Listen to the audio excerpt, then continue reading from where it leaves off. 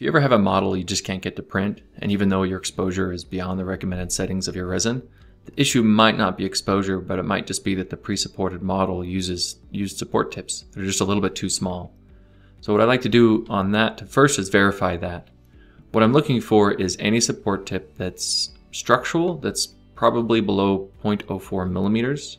A lot of individuals will use 3 or 3.5 and in this one I've noticed is that for most resins, it's just not enough.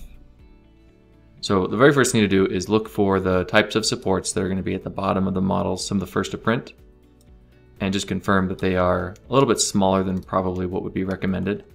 So there's a couple ways to do that. For one, you can just kind of go through and look at the model, look at the first layers and see where they're at. This one's 0.35.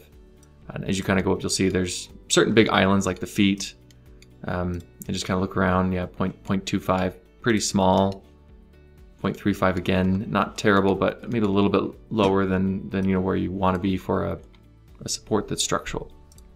Depending on the way it's supported, there's another method you can do, where if you click on supports, uh, selection, and on this one I like to do um, select all supports except minis. Minis are generally used for details and not for structure. So for most pre-supported items, this is a good way to kind of really look at what structure and what's detail. On this one, I can see the average is about 0.35.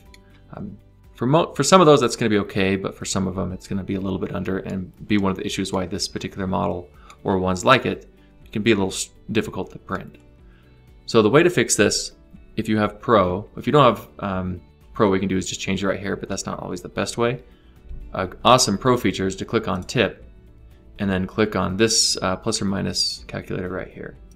From here, you can actually just change it how you want. But what I, what I like to do is click on percent and then just increase the supports based on the percent. This way they will all scale depending on what they are. The issue with just doing them all a set is that not all of these supports are actually structural. And we do lead into around the hand um, and a few other places that are more um, detail driven and less structural driven. So if I just do plus 10% to 110, this is going to not overblow some of them while making sure some of these structural ones are just big enough. Hit apply on that. And now if I look at some of these bottom ones, they're 0.39, a little bit under the 0.4, but it's fine. 0.01 uh, millimeters isn't enough to really change anything. So from here, this model will be much easier to print.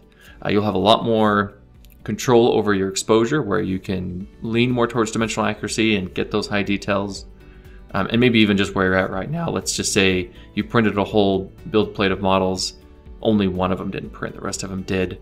Uh, this is a good way to go in there. Just boost it up a little bit, keep your settings the same, print it. The odds of your success going up by quite a bit are, are quite high.